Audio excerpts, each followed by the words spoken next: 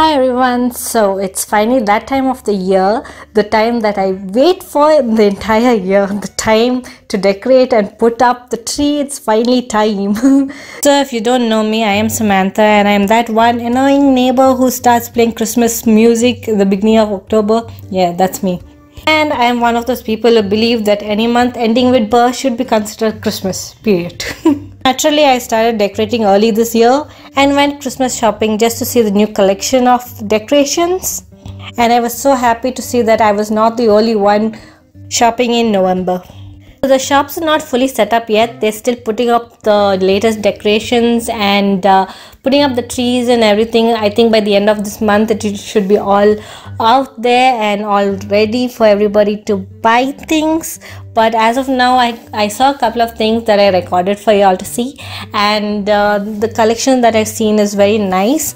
Of course I had to record to spread the joy and show you places where you can go buy decorations. So where I went was a commercial street. A couple of uh, shops are open with Christmas decorations. There should be more opening by the end of the month and uh, yeah these are the ones that I found open now. And uh, yeah if you're searching for a place to go and shop for Christmas this year couple of shops are open in commercial street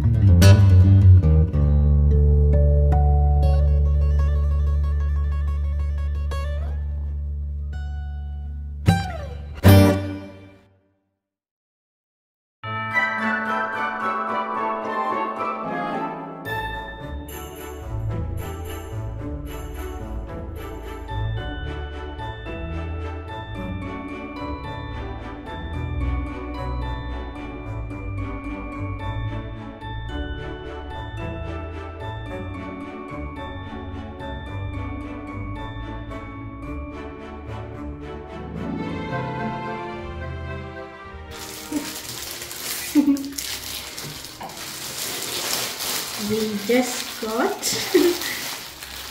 Smolly. We got these uh, table mats with the coasters on it.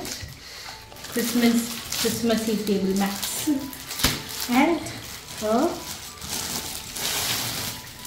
skirt for the Christmas tree. We got it from one of the shops over there. Pretty good. So this is this is about what we got today we might go we might go again and when we go I will take more videos but for today we got these two things that we required and Dashi has to investigate everything he's like this belongs to me now it belongs to you